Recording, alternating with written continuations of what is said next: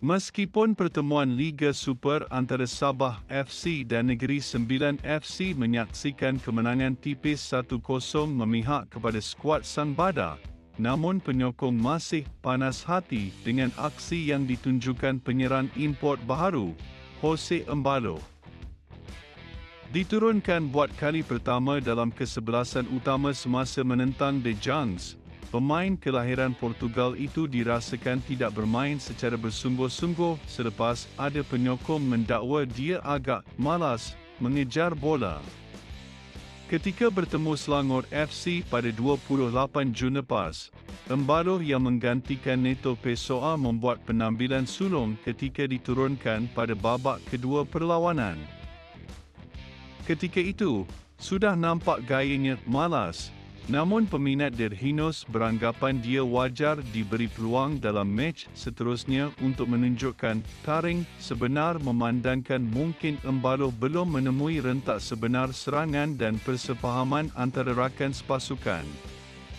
Begitupun selepas hampir dua minggu di bumi Sabah, penyokong sang badak merasakan jolokan newbie atau belum serasi bukan lagi satu alasan buat Embalo memandangkan statusnya sebagai import profesional, selain berpengalaman beraksi di Liga Eropah. Embalo tidak boleh membuang masa dan perlu segera mencontohi import baharu Kedah dari Jordan, Mahmud Al-Mardi yang sudah meledak empat gol bersama Sang Kenari.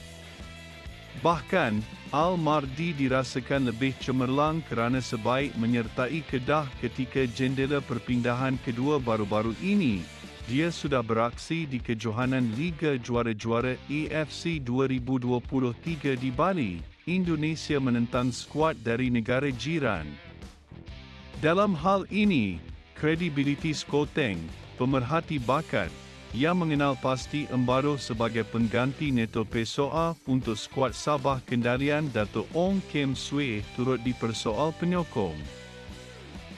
Jika Embaro terus beraksi hambar, penyokong Sabah FC pasti kecewa dan beranggapan kehadirannya tidak memberikan impak berbeza di bahagian serangan selepas kehilangan Pessoa yang mengalami kecederaan.